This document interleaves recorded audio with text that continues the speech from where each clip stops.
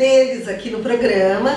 Então, para quem tem seu namorado, marido, filho, a gente vai falar de bigode e barbas. Exatamente, porque está super em alta. Pois é, verdade, Gilson, acho que 9 né? entre 10 homens hoje. hoje. ou estão de barba ou estão de bigode, não é?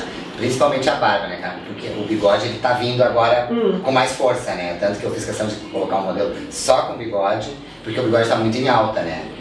Então, complementando a barba. A barba, a não saiu, ela continua. Esse bigode pode ser agregado a uma barba mais ralinha, né? Pode ser aquele, aquele bigode mais trabalhado, aquele que tem as pontinhas na lateral também. Mas daí tem que ter então, muita atitude para usar aquele das pontinhas. Exatamente.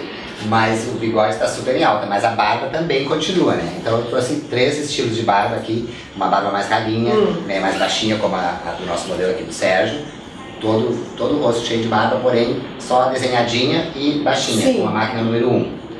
Que dá tá. aquela ideia assim, ó, esqueci de fazer a barba. Tipo assim, aquela barba que fez faz dois dias, tá. crescida. Aqui uma barba um pouquinho mais cheia, mas também uma barba levemente aparada, só pra dar aquele aquele esfumadinho, assim, ficar um hum. efeito mais, mais escurinho no rosto.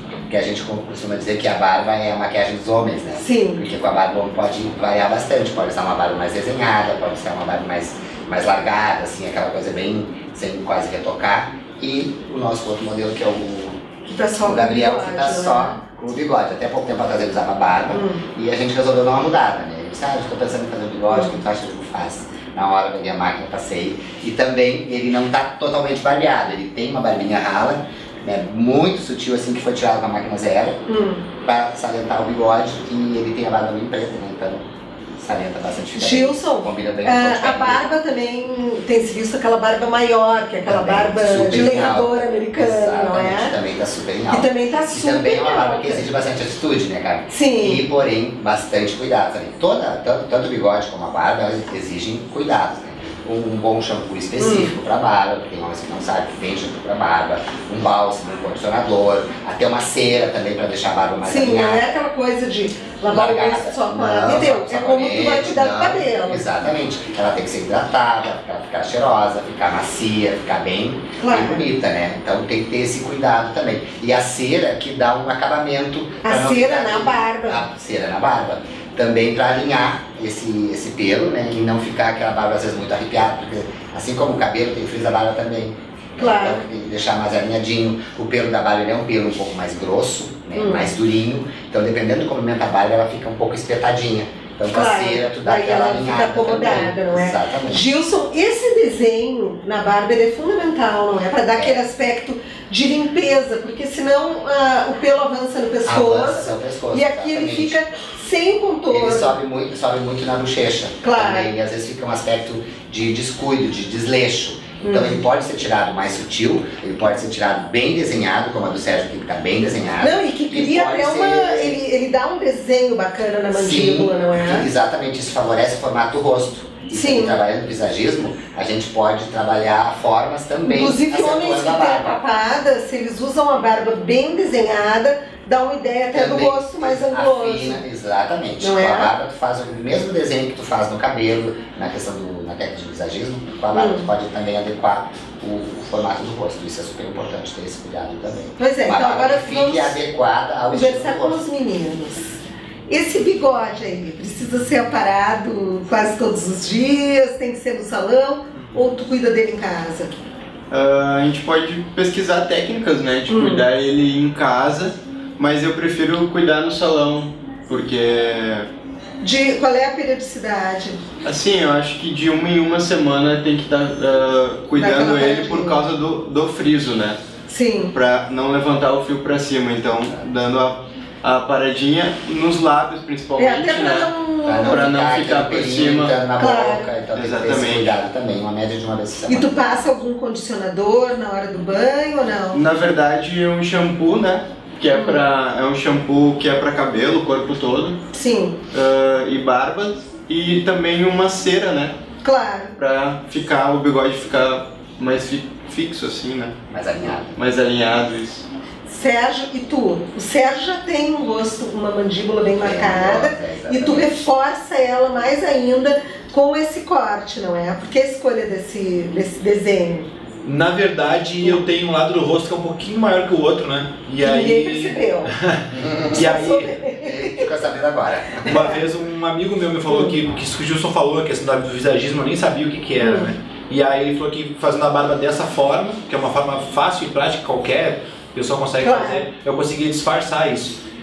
E de lá pra cá é assim que eu faço. Tá, e tu mesmo cuida desse desenho diariamente ou tu só cuida do salão? Pra ser bem sincero, eu não, eu não cuido. Tu não cuida do desenho. não cuido de jeito nenhum, eu sou muito. Inclusive até vocês estão falando, eu tô aprendendo, aproveitando e aprendendo. Claro. Pra saber como eu posso cuidar mais, porque eu, não, eu faço uma vez por semana a barba e sou bem desleixado assim pra barba, deveria cuidar mais. Uh, mas eu só faço desenho aqui embaixo mesmo pra, pra questão de de equilíbrio. De equilíbrio rosto. Equilíbrio. É. E o Fábio, o Fábio já tem aquela barba assim, parece deixei crescer e não me preocupei muito, não é, Fábio? Assim, é, na verdade eu vou mudando bastante, né? Vou só limpando aqui o pescoço. Mas ele sabe porque aqui. ele é cabeleireiro. Às vezes eu deixo um pouco maior, deixo é. um pouco menor e assim eu vou manter. Ele varia, tu, o Fábio varia bastante de comprimento. Mas sempre um pouquinho mais compridinha, Fábio. Às vezes deixa comprida, às vezes deixa igual do Sérgio, deixa crescer um pouquinho. E tu tem esses cuidados todos que o Gilson falou? Bom, tu como cabeleireiro Sim. provavelmente tem, né? Sim, mesmo cuidado no cabelo, mesmo da barba. É. Sabe que a gente costuma ver muito hoje para aqueles homens, como a gente disse que tem que, ter, tem que bancar, né, para usar, aqueles que têm até um queixo proeminente e eles deixam a barba crescer Maior, naquela direção. É, Parece isso, que ainda é para reforçar. É, mas... Isso é uma caracterização, né, Carmen? Também no visagismo a gente trabalha com quando o efeito é para reforçar algum ponto forte que a pessoa tem. É isso, é caracterização. E ela fica meio fica, não é? Para ficar, aí, aquele, aumenta ainda mais o queixo. É, e, e realmente isso tem que ter muita personalidade, muita atitude, porque já tem o queixo proeminente, né? E mais a barba ela vai acentuar ainda mais. Eu particularmente acho que fica muito interessante, porque é aquela coisa assim, a pessoa encara aquilo que ela tem claro. uh, e é feliz, né? Isso é que importa. E fica um efeito super bonito também. É bem diferenciado. Pois é, a barba, muitos anos atrás, ela era sinônimo, assim, de, de, de descuido, não é? Descuido, exatamente. E hoje, eu acho que os meninos querem perder a cara de bebê e botam a barba para mostrar que são homens, não é? Uma atitude, uma masculinidade ainda mais forte. Pois é, quem, qual é a tua dica? Quem nunca usou barba deve arriscar. Eu acho que deve arriscar. É. Eu, já, eu já dei dicas para vários clientes, muitas vezes, assim, que nunca usaram barba e eu, e eu perguntar assim, ah, nunca pensou em usar barba? É. Ah, pois é, minha barba é muito rala, minha barba é assim, minha barba é essa. Tu experimenta, claro. deixa crescer, a gente vai trabalhando, vai alinhando. E se tu não te gostar, tu volta a tirar a barba. Não, e é bacana essa brincadeira também, não é? Porque a mulher... ela tem aquele recurso de mudar a cor de cabelo, mudar o corte. Mudar a cor do batom, mudar a cor do esmalte. Quase fica sempre igual, né? São um pouco menores, não são tão diversificados. E a barba é uma maneira assim de então, ir mudando o visual. Por isso que a gente usa né, o termo de que a barba é a maquiagem masculina, né? É isso Porque aí. é uma maneira de variar.